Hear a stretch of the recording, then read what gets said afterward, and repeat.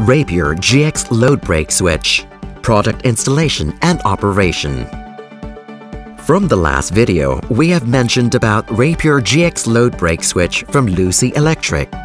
In this clip, we will guide you through the installation and operation, open-close of this product.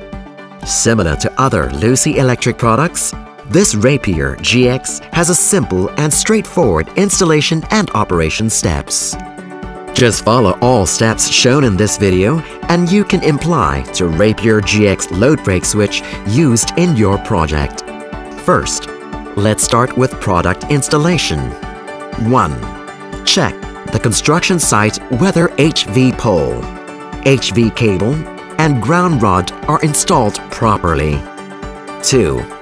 Ensure that Rapier GX load break switch is ready for installation. Check if electrical cables, bushing, and SF6 gas are ready.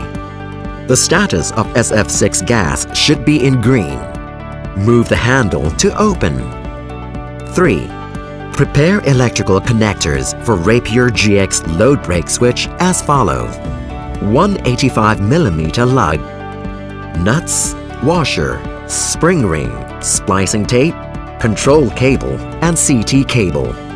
Cold shrink, Electrical pole truss.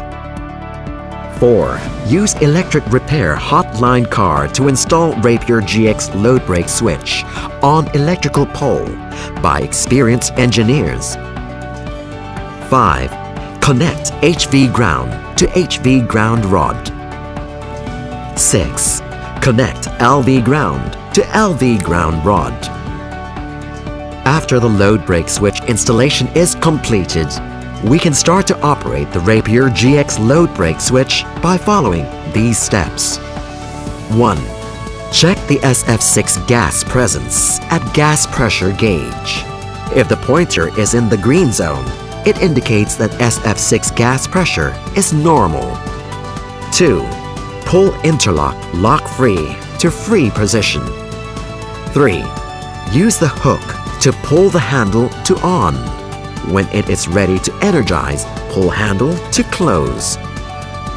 Only follow these steps shown in this video. You can install and operate the Rapier GX load break switch by yourself with highest safety.